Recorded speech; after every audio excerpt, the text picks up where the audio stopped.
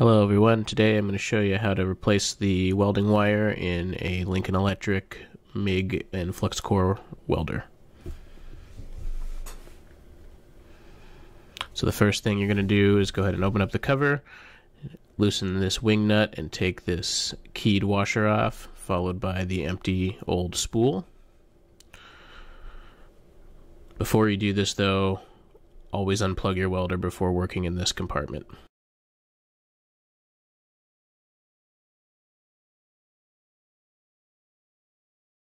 Now we got our new replacement spool.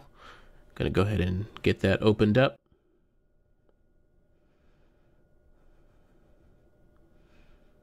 These instructions here on the back, I'm gonna take those off.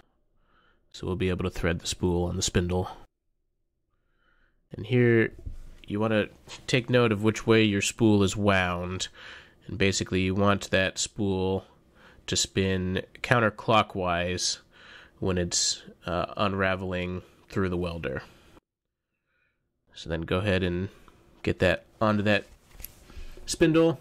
Again, making sure that you've got that counterclockwise rotation. And then return the keyed washer and tighten down the wing nut. You want to get this nice and snug for now. We'll go ahead and loosen this up later.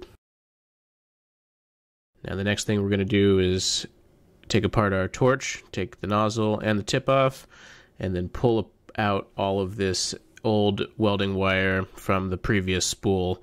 We don't want it to block our new wire from making its way to the, the tip of the torch. And as you can see, I've also opened up the feeding mechanism by pushing this black knob back toward the spool.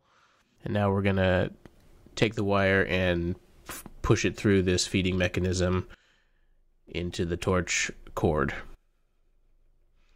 Just gonna go ahead and push it through that spring, line it up in the notch on this little wheel, and then into the nozzle on the feeding assembly. And just go ahead and push as much as you can through in a second here. I'm going to drop this down, snap that into place. Make sure you adjust that knob for the correct tension for the wire you have. Turn your welder on, turn the speed up, and pull the trigger until the welding wire makes its way all the way through the torch.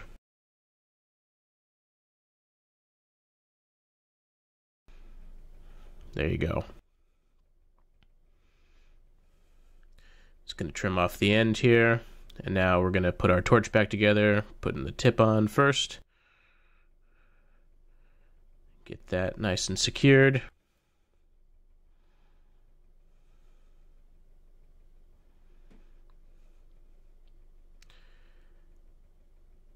And then we'll put on the nozzle as well.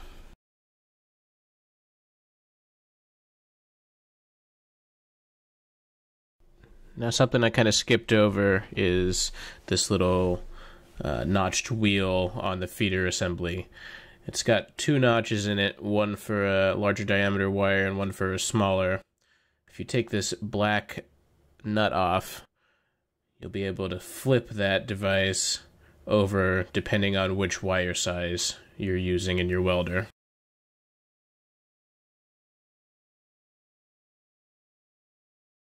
And that's pretty much it. Thanks everyone for watching. Hopefully you found this video helpful. If you did, give us a like and subscribe to the channel and we'll catch you on the next one.